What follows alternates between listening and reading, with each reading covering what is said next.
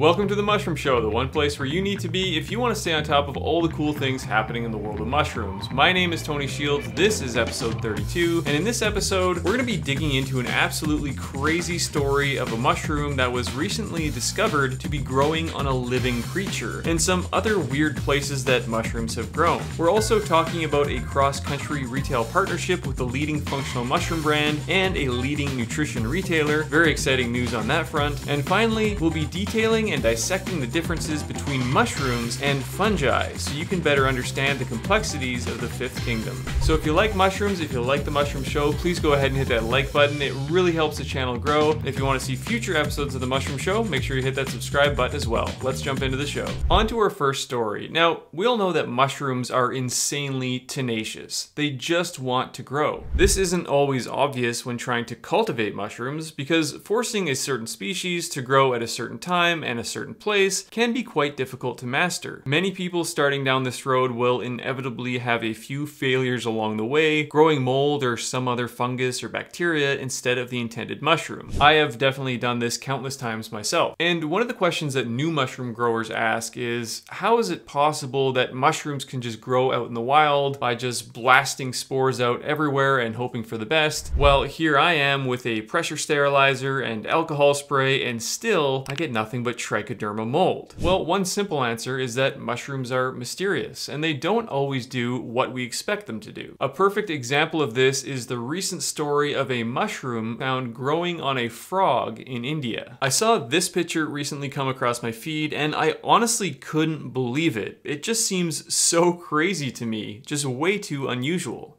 But after all these years, I guess mushrooms are still able to offer surprises. So here's the story. Lohit YT, who is a river and wetland specialist at the World Wildlife Fund, was on an expedition in the mountains of India with some friends, specifically looking for different species of reptiles and frogs. During the trip, they found a number of frogs of the species Hylarana intermedia, better known as Rao's intermediate golden-backed frog. Not the most elegant common name, but nonetheless, while looking at the frogs, they were astonished to find that one of the frogs had a perfectly shaped mushroom fruiting body protruding from its left side. The frog was alive, which is important because this is thought to be the first and only observation of a real mushroom fruiting body protruding from a living creature in this manner. It really is remarkable. Here is the short paper that was published in Reptiles and Amphibians documenting this discovery, and it shows a bunch of other pictures pictures. You can clearly see here that the mushroom, it's not a big one, not like the frog had a toadstool growing out of him, but it is clearly a full-on little mushroom fruiting body directly growing out of the skin of the frog. The paper goes on to identify the mushroom as a bonnet mushroom, which is a Mycena species. They didn't identify the mushroom down to the species, which is too bad because Mycena is a relatively large genus and could be one of over a thousand different species. Some grow on leaf litter, some grow on dung, but generally they grow on dead or decaying matter, and they're not supposed to be growing on frogs. There are some other species of mushrooms that grow on bugs or insects, specifically cordyceps, which we talk about quite a bit. There are over 600 different species of cordyceps, which are considered to be entomopathogenic, meaning they infect insects and fruit from their dead bodies. But this is something entirely different. The paper also talks about a common fungal infection in amphibians due to a fungus, and I'm probably going to butcher this name, but it's called Batrachochytrium dendrobatidis, which causes a disease, which is also hard to say, called chytridiomycosis, and it is deadly to frogs. But that kind of fungal infection is not that unusual, and again, completely different from a fruiting mushroom on a living creature. Now, as I was looking at different articles about this story, one thing I found that a lot of people are wondering was, is this something we should be concerned about? Not just for the frogs, but for us humans. Is it possible that if mushrooms can affect these frogs, can mushrooms start to sprout out of humans? This line of questioning seems to have become more present because of the recent hit show on HBO called The Last of Us, which tells the tale of an apocalyptic future where a strain of cordyceps takes over humans and turns them into flesh-eating zombies. Well, luckily this isn't something that we have to worry about. Sure, there was that case of psilocybin mushrooms apparently growing in someone's bloodstream, and And there are a handful of random cases throughout history of mushrooms apparently growing inside of people. Well, growing inside is kind of a strong word, more so the spores were able to form mycelium inside, which is still kind of scary. The most well-known one being Schizophyllum commune, which is a common mushroom whose spores can apparently infect humans. But in general, mushrooms aren't growing on humans. It's just not something to be concerned about. And realistically, they probably aren't truly growing on frogs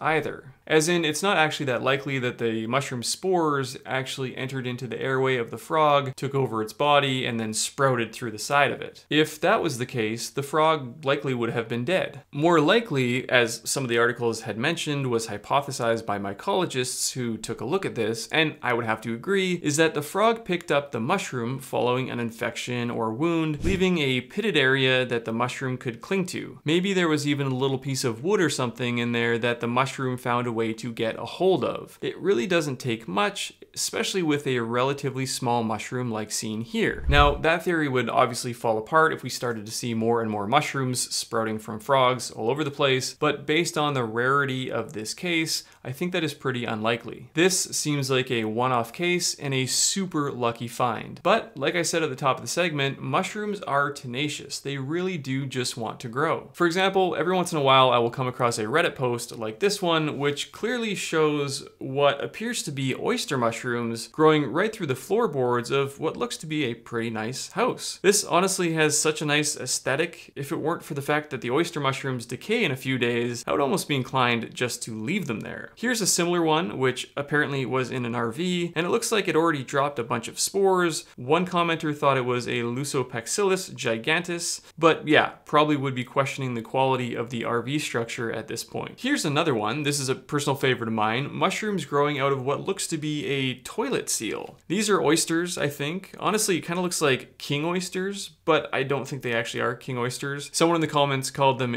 Take, which I thought was kind of funny. But believe it or not, there is a whole subreddit dedicated to mushrooms growing in weird places. It's called Our Bathroom Shrooms, and although many of them are growing in the bathroom, I guess because it is often humid in there and really good for mushrooms, it has all sorts of really neat pictures of mushrooms just doing their thing. So feel free to go check that out if that's something you're into. I definitely had a lot of fun browsing it, and after you look at a lot of those pictures, you might just think that maybe mushrooms growing on a frog isn't that crazy after all. On to our next story, which is some huge news in the mushroom retail front. FreshCap is launching an exclusive partnership with GNC stores across the US starting this month. Over 1,500 GNC stores across the US are going to be carrying FreshCap's Ultimate Mushroom Complex capsules and powder, Lion's Mane capsules, and Cordyceps capsules. As maybe you know, functional mushrooms are getting more and more popular, and that means more and more people are going into retail stores like GNC and specifically asking for high quality mushrooms. GNC, being a retail chain on the leading edge of functional nutrition, noticed this and went to seek out a brand that they could forge an exclusive partnership with. And the one brand that was able to match their demands for both quality and for alignment was FreshCap, which is super exciting. So why these specific products? Well, to start, Lion's Mane, which I've mentioned many times before, has gone from relative obscurity to one of the world's most popular functional mushrooms. People are simply walking into stores and asking for again prompting GNC to seek out a brand that they could feel awesome about offering to their customers. And Cordyceps, being the mushroom for athletes, is also a perfect fit, as GNC appeals to both athletes and weekend warriors as a place to get everything from protein powder to pre-workout and now cordyceps mushrooms.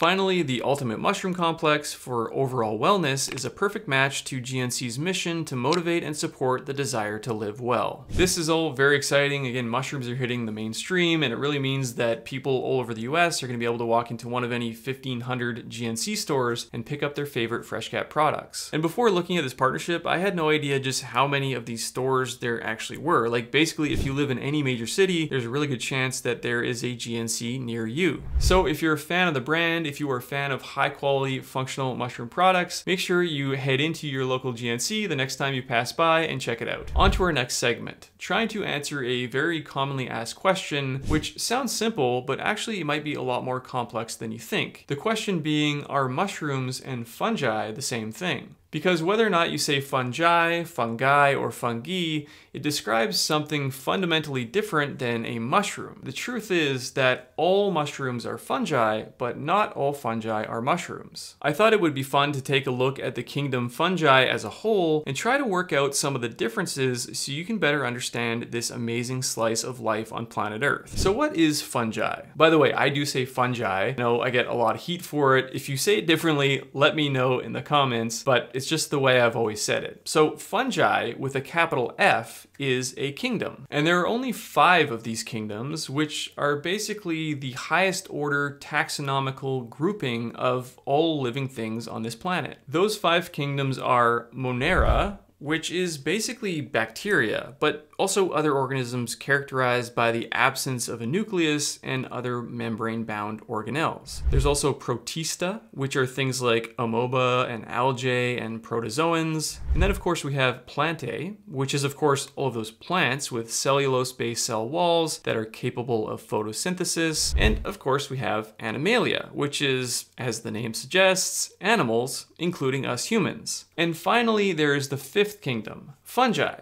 which is actually characterized by two things. Number one is the fact that their cell walls are made of chitin, which is a hard structural polysaccharide. And number two is the fact that they absorb their nutrients from their surroundings by secreting enzymes and digesting things outside of their bodies instead of inside their bodies. And that is how I would describe a mushroom, for sure. The cell walls are made of chitin, which is why mushrooms typically need to be cooked or extracted in order to get the most nutrients out of them. Their beneficial compounds are kind of locked up inside the cell walls of the mushroom, but you can also imagine that they have these vast mycelial networks that kind of crawl out across the forest floors, seeking enzymes and digesting nutrients. Interestingly, for much of history, there was only considered to be two kingdoms. That would be, of course, the plants and the animals. Fungi as a whole was just kind of lumped into the plants category category. And it wasn't until 1969 that fungi was actually given its own group, its own kingdom. But the vast majority of these fungi don't actually produce mushrooms. And when I say the vast majority, that represents a ton of different species. The State of the World's Fungi Report for 2023 from the Kew Royal Botanic Gardens estimates that there are over 2.5 million species of fungi worldwide, even though about 90% of them have yet to be discovered. So what are all of these non-mushroom forming fungi? Well, first we have molds, which whether or not they show up on your bread, underneath the floorboards, or in your mushroom growing project, these are often un unwanted and kind of off-putting. Interestingly, molds are everywhere in nature, but they are only really visible to the naked eye when they get big enough to form large colonies. When that happens, it is associated with things going bad or rotting, and essentially that is what's happening. The mold is breaking down the organic matter, and in the meantime producing secondary metabolites and spores, which end up looking kind of nasty. But not all molds are bad, obviously. Here are some examples. Molds are important in food production. For example, to make soy sauce requires a group of molds called Aspergillus species to break down soybean and wheat. The same mold is used to break down starch and rice in order to make sake. Molds are also super important in the production of certain pharmaceuticals, the most famous case being the mold penicillium, which led to the development of the antibiotic penicillin. Other important pharmaceuticals, such as statin cholesterol-lowering drugs, are also derived from molds. Next up is yeasts, which makes up a very small portion of the fungal kingdom somewhere around 1%, but they are still very important. Most people are familiar with certain yeasts, and you might even have a jar of it in your fridge for the next time you make cinnamon buns. Yeasts are considered single-cell fungi. The most commonly known one, of course, is Saccharomyces cerevisiae, which uses its fungal powers to help bread rise in the oven, but it also ferments sugars into alcohol to help make beer, wine, and other spirits. Beyond culinary uses and brewing uses, yeast contribute to biofuel production by fermenting biomass into ethanol, which is a renewable energy source. And believe it or not, yeasts also play a role in scientific research, serving as a model organism in genetics and cellular biology. Their simple structure and quick generation time allow scientists to study genetic diseases and cellular processes, offering insights that are applicable to more complex organisms, including humans. Yet another segment of the fungal kingdom are rusts and smuts, although they they're often less celebrated than their peers, and most of the time people are trying to prevent the growth of these rather than encourage it. Rusts have complex life cycles that involve multiple plant species. You can kind of think of them as globe-trotting pathogens that cause a spectrum of disease in crops, from grape vineyards to apple orchards, and they're responsible for rust-colored blemishes that can decimate yields, with some having historical impact. For example, a coffee rust epidemic in the late 19th century devastated coffee plantations in Sri Lanka and Java, dramatically shifting the global center of coffee production to South America. Smuts are similar, but have simpler life cycles and usually infect just a single host species. They produce masses of spores inside the tissues of the host plant, often causing the tissues of the plant to swell and form galls or tumors. The smut fungi consume the nutrients that would otherwise be used by the plant, leading to stunted growth. But smuts aren't all bad. One of them, known as corn smut, affects corn crops, but it is highly regarded as a delicious food, more commonly known as huitlacoche. It does look a little bit gross to me, to be honest, but lots of people love it. Then, of course, are the lichens, which are estimated to include about 20,000 different species. But that number could easily be off by an order of magnitude just because of how little we know about lichens. This one is kind of fungi, but more so a complex symbiotic relationship between specific fungi fungi, and photosynthetic algae or cyanobacteria. They may not seem that impressive, but based on the fact that they grow on rocks, they don't need much to be impressed themselves. They do play a significant role in breaking down rocks and are one of the few living things that can survive in harsh conditions from arctic tundras to desert sands. In fact, lichens have even grown in space on the space station. Not in the space station, but literally on the outside of the space station for 18 months. That is some pretty hardy stuff. Another cool thing about lichens, they're considered to be some of the oldest living things on the planet, with some individual organisms estimated to be thousands of years old. So as you can see, because of the vast number of species, fungi as a whole has a pretty massive impact on both our planet and on the economy in both positive and negative ways. One report that I read estimated that the economic impact of fungi worldwide is about $54 trillion. That is trillion with a T, which is absurdly large. We did do an episode to dive deeper into this report if you want to go check that out. But if that stuff is all fungi, then what are mushrooms? How would you actually define what a mushroom is? Well, in its simplest form, mushrooms are just fungi that produce fruiting bodies. Those things that stick out of the ground or out of the tree or out of the little piece of dung. Those things are mushrooms. Which, after everything that we just talked about, kind of seems like mushrooms are a relatively small part of the fungal universe, which might be true, but mushrooms definitely seem to punch above their weight. And we could still break it down more, because there are mycorrhizal mushrooms, there are saprotrophic mushrooms, there are entomopathogenic mushrooms, there are wood-loving mushrooms and dung-loving mushrooms, tiny mushrooms and massive mushrooms, edible mushrooms and poisonous mushrooms, and mushrooms that are sometimes poisonous and sometimes edible. But that would be a topic for another episode, perhaps many other episodes. The bottom line is again, yes,